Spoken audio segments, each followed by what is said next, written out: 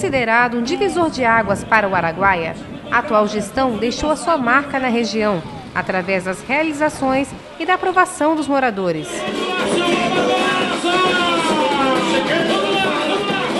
À frente do governo do estado, o candidato à reeleição, Silval Barbosa, juntamente com a comitiva da coligação Mato Grosso em primeiro lugar, fez um giro pela região, onde apresentou as suas propostas para dar continuidade ao desenvolvimento local.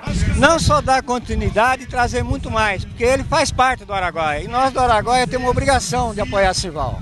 A vinda do Simval aqui vem a reforçar o comprometimento dele com, com a nossa região e também o nosso compromisso na campanha de Simval, por sabermos que é um, que, que é um governador que tem um compromisso com o interior e que tem um compromisso com Araguaia. O povo hoje conhece a história de Silval.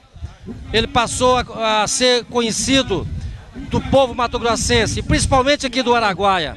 Ele foi prefeito de uma cidade vizinha, uma cidade pequena como a nossa, que é Matupá.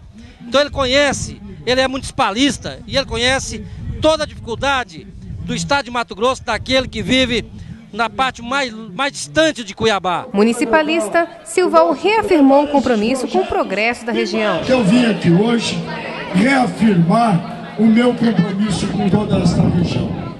Tenho aqui um carinho todo especial pelos municípios do interior, até porque surgi na vida pública de um município interior. Quando eu assumi ao lado de Blairo, eu falei, Blairo, nós temos que ajudar os municípios, fortalecer os municípios, é porque lá que tudo acontece. Eu só queria deixar aqui bem claro à população de São Félix, que mesmo sendo do PPS, arriscando até muitas vezes ser expulso do partido, eu declaro é aberto, eu sou Sival Barbosa.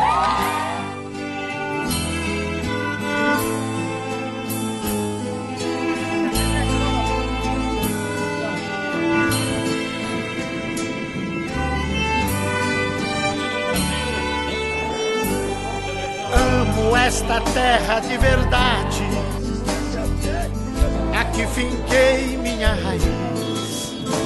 Aqui construí a minha vida, minha família. Aqui eu sou feliz. Amo Mato Grosso do Araguaia, da Amazônia, do Cerrado e Pantanal. Por isso este estado que eu amo eu quero governar Mato Grosso em primeiro lugar.